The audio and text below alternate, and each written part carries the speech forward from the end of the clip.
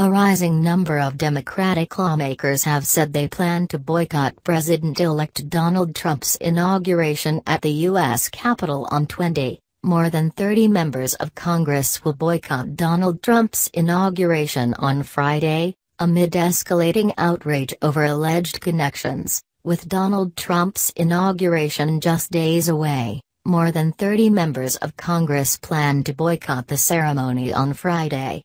Their pledges to skip Trump's swearing-in come amid escalating outrage over alleged more than 50 House Democrats are refusing to watch as Mr. Trump is sworn in as the 45th U.S. president amidst a feud between the newly elected president and the civil rights activist and congressman, John Lewis. Mr. Lewis, a revered member of the 1960s struggle, sparked controversy on Friday when he called Mr. Trump's victory illegitimate because of Russia's alleged interference in the election.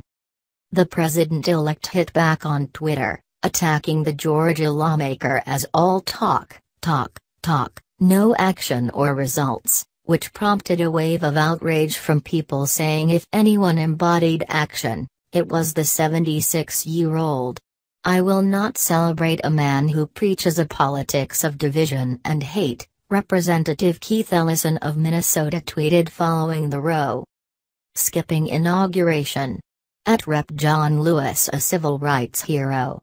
Enormous responsibility to be POTUS.